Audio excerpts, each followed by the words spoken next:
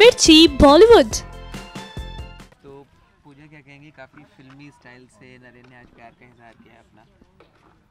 क्या कहना चाहेंगे उस प्यार के इजहार के बारे में? नरेन हमेशा ही अलबेले हैं और आज भी उन्होंने थोड़ा अलग सा ही तरीका अपनाया है पूजा को यकीन दिलवाने के लिए कि उनका प्यार सच्चा है और उनकी आँखों की सच्चाई देखकर आज पूजा भी पिघल गई है और उन्होंने यकीन कर लिया है।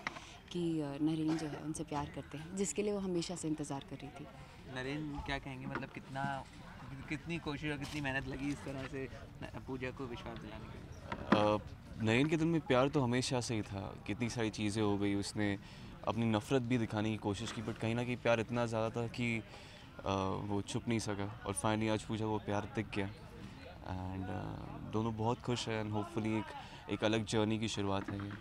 ये मोमेंट कैसा था पूजा जब वो गाड़ी के सामने आ गया और मतलब कुछ बताना चाहेंगे इस मोमेंट के बारे में? पूजा के लिए सबसे बड़ी खुशी थी। अ, इतने समय से जो भी पूजा कर रही थी बस इसी प्यार को पाने के लिए कर रही थी। अब उसके लिए अब उसके लिए आगे की ज़िंदगी इतनी आसान हो जाएगी। अगर उसके उसका नरेन का साथ है उसके साथ तो अब तो सब कुछ आसान हो जाएगा। अब माँ के असली गुनहगार का भी पता चल जाएगा। घर में कौन विलन्स है वो भी वो लोग शेयर कर सकते हैं। And things will be all good and nice lastly मतलब पक्का है ना प्यार की इसमें भी कुछ नरेन की अब मत परखिए इनकी आँखों में सच्चाई नहीं देखी आपने? यार प्रॉब्लम यही है। मतलब अभी मैं कुछ भी अच्छा भी करता हूँ लोगों को लगता नहीं नहीं भाई इसमें कुछ तो गड़बड़ गया। नहीं नहीं I trust you she trust me I don't care यार।